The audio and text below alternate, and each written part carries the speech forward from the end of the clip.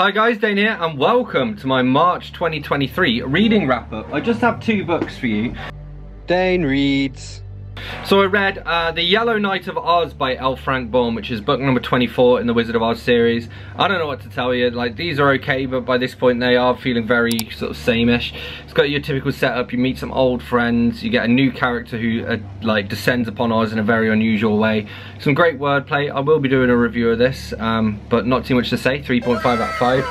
And then I read Dune House of Atreides Volume 1 by Brian Herbert, Kevin J. Anderson, Dev Pramanik and Alex Guimaraes. And um, this is the first of three volumes of a graphic novel slash comic series based on the uh, novel House of Atreides. Did really enjoy the novel. Also, I'm kind of reading this because these are the final unread Dune books on my list and uh, this was a strong 4 out of 5 really awesome art style but also it did re really did well uh, justice to the story as well. So yes looking forward to getting to more of these. Alright so I read Marple 12 new stories 12 great writers one Agatha Christie. So this has short stories by Naomi Alderman Leigh Bardugo Alyssa Cole Lucy Foley Elly Griffiths Natalie Haynes Jean Kwok Val McDermid Karen M. McManus Dreda Say Mitchell Kate Mosse and Ruth Ware. As you guys know I'm a big Agatha Christie fan and so it was nice to uh, read more Marple because I do love Marple Marple, but I don't think the writers necessarily did her justice. There were two different stories in this in which Marple let out a breath she didn't know she was holding, which is particularly impressive because they take pains to say that she's not this doddery old woman, she still has all of her mental faculties, and yet she doesn't realise that she's suffocating herself. Um, but yeah, the stories are okay. I gave it a generous 3.5 out of 5. Um, I wouldn't recommend this unless you read all of the other Marple books, basically. And actually, I do worry that people are going to read this as their introduction to Marple, and then they're not going to read any more because, because yeah. Then I read uh, Troubled Blood by Robert Galbraith, probably a 3 out of 5. I don't really know why I'm still reading this series. I think it's just because I've got this far at this point. I've actually been listening to them via audiobooks, um, which has made them slightly more bearable. But I don't like the whole will they won't they of Robin and Strike, and they need to be better edited. They need like three, 400 pages removing from them. I get that like Rowling or Galbraith, or however you want to refer to them, has is trying to write a big old chonker but there's just loads of stuff in it that doesn't need to be in it, you know? So hey ho, it is what it is. And then I read Sudden Wealth by Robert Llewellyn. So Robert Llewellyn is famous for playing Kryten in Red Dwarf, which is one of my favourite TV shows.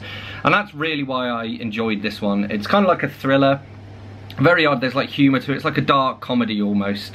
Uh, there's a psychiatrist dude who does... Um, like shock therapy so basically he makes you think you're gonna die and that makes you lose your depression because you're like oh actually I am quite glad to be alive now um, it was okay. It was quite workmanlike, the writing. You can tell that the guy is a presenter, an actor above a writer, but it was alright. I only really can see you reading this if you are a Robert Llewellyn fan, but hey ho, it was alright. And I got some more of his books to read soon. Alright guys, just the one book to wrap up for you today. That is Exile in the Kingdom by Albert Camus. Uh, six short stories in this. I will tell you the names of them. We have, uh, da, da, da, this is translated by Justin O'Brien. We have The Adulterous Woman, The Renegade, The Silent Men, The Guest, The Artist at Work, The Growing Stone. Honestly, I only give it like a 3.5 out of 5. It was just okay. I don't think it was uh, Camus at his best. I think he works better with novels.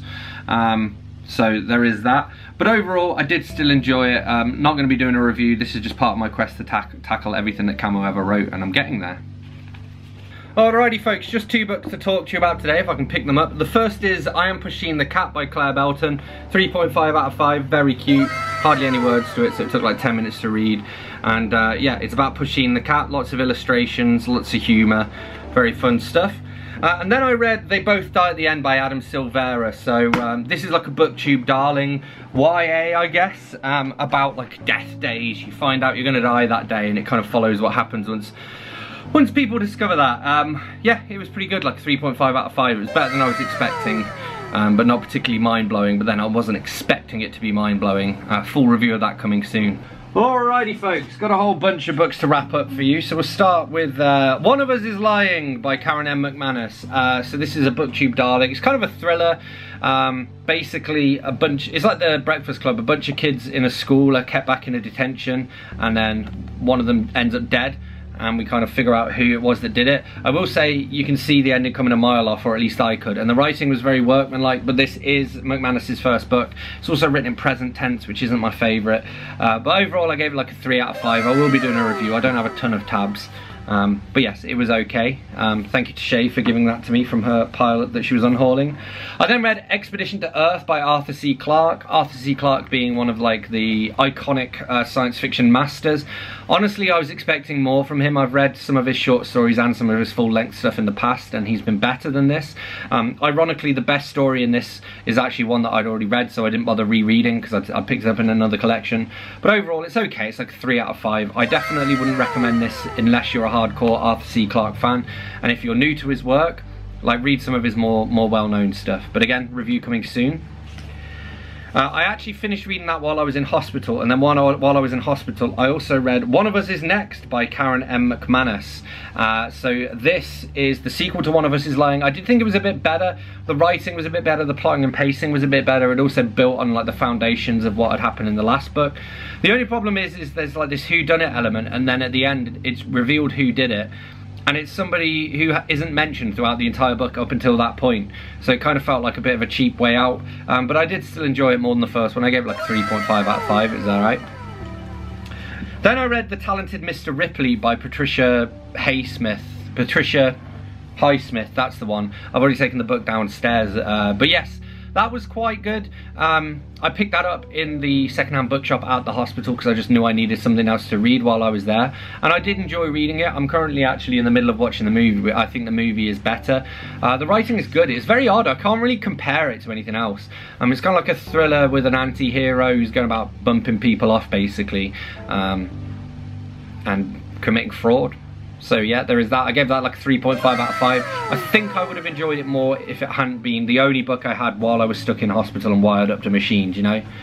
And then I read The Hit by Melvin Burgess. So this book is about a drug that comes out called Death, where it gives you an amazing high for like the course of a week. Uh, and then you die at the end of it. And that's happening against the backdrop of like massive uh, social, like, dis, uh, what's the word, dis, displeasure, I suppose. There's lots of like protesting revolutions going on criminal gangs happening and we follow some teens um, as one of them takes the drug and they get involved in this underworld stuff and all of that. Melvin Burgess is a really good writer, um, kind of somewhere between YA and just regular adult, I guess. Um, lots of social commentary. I think it's arguably even more relevant today than it was when it was written, um, although it can't have been that far back, 2013. And um, yeah, very good. Review coming soon. And then I read, last one here, I read Punchbag by Robert Llewellyn. So Robert Llewellyn is the guy who played Kryten in Red Dwarf. He's also an author in his own right.